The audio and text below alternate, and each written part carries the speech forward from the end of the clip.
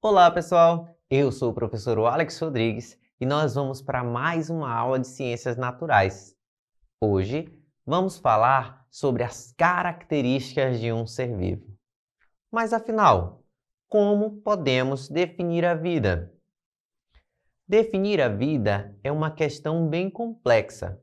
Não se tem, ao certo, uma definição do que seria a vida, mas podemos então definir as características comuns a todos os seres vivos, que são uma composição química semelhante. Todos os organismos têm uma composição à base de carbono. Todos nós somos constituídos por ácidos nucleicos, o DNA, o RNA, proteínas, lipídios, que têm essa mesma composição desde as bactérias, que são micro-organismos, até seres complexos como nós, os animais. Todos os seres vivos também têm capacidade metabólica. Temos metabolismo, que é a capacidade de formar ou de quebrar substâncias. Quando, por exemplo, nós nos alimentamos, vamos dissolver, vamos quebrar aquelas partes dos alimentos. Isso também acontece dentro das nossas células. Esse, esses processos são chamados de metabolismo. Todos os seres vivos têm capacidade de adaptação e evolução. Os seres vivos se adaptam a certas situações a que são sujeitos. Condições essas que nos permitem viver nesses ambientes. Todos os seres vivos também têm capacidade reprodutiva. A reprodução é super importante para perpetuar a espécie, para que a espécie continue existindo ao longo dos anos. Se um ser vivo não se reproduz, toda a espécie vai se extinguir. E todos os seres vivos são compostos por células. A célula é a unidade básica da vida. Se não existe célula, não existe ser vivo. Em geral, as células não podem ser vistas a olho nu, ou seja, sem o auxílio de um equipamento que aumente o tamanho delas.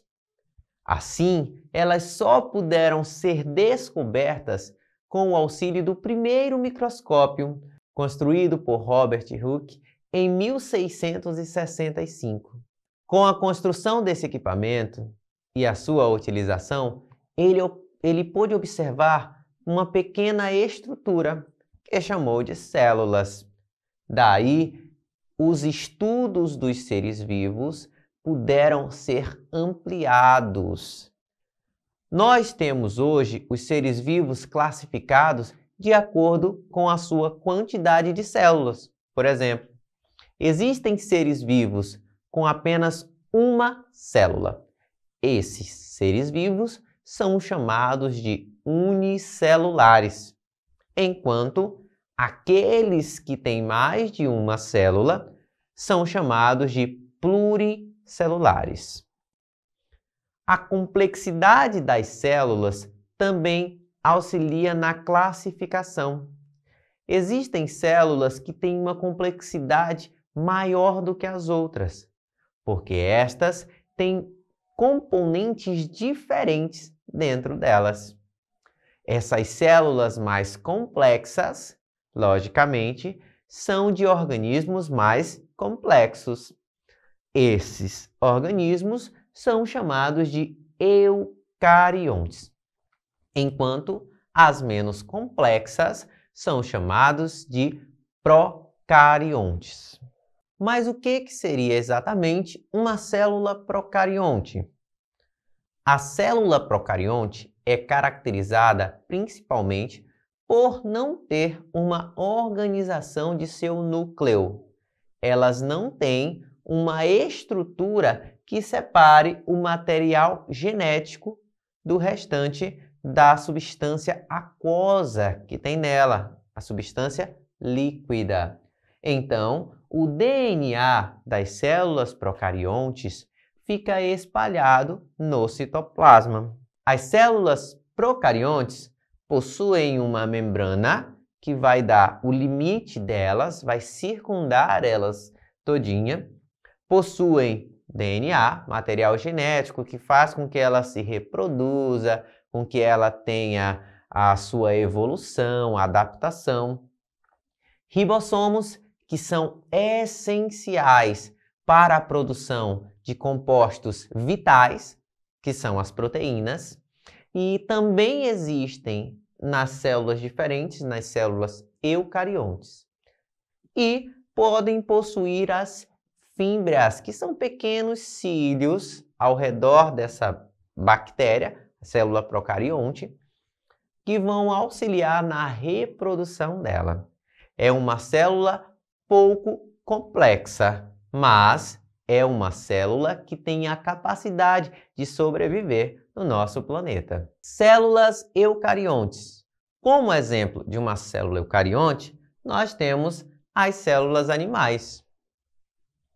A célula animal ela é constituída de uma membrana, basicamente uma membrana que circunda a célula toda, dá o limite, a protege, porque ela seleciona quem vai entrar e quem vai sair de dentro da célula. Possui citoplasma, que é a parte líquida. Possui um núcleo, que é a parte onde vamos ter o DNA, essencial para a reprodução e para a adaptação e evolução das células. E a mitocôndria, que é uma organela, um pequeno, uma pequena estrutura responsável pela produção de energia que necessitamos para desenvolver tudo o que temos que fazer durante nossa vida, o nosso metabolismo. Como exemplo de célula eucarionte, nós também temos as células das plantas, as células vegetais. Elas possuem algumas particularidades, diferenças em relação às células animais. Além de possuir núcleo, membrana plasmática, citoplasma e mitocôndrias, as células vegetais vão possuir os cloroplastos, que são estruturas responsáveis pela produção de açúcares através da fotossíntese, que é aquele processo onde a plantinha utiliza a água, sais minerais, o gás carbônico a partir da luz solar, produz compostos alimentares. É no cloroplasto que isso acontece. Além disso, as células vegetais possuem uma estrutura chamada de vacúolo contrátil, que armazena água e sais minerais.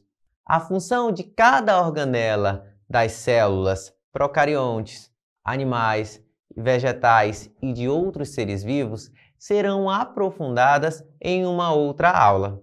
Até aqui, vimos a diferença entre os procariontes, eucariontes, ainda diferenciando as células animais das vegetais.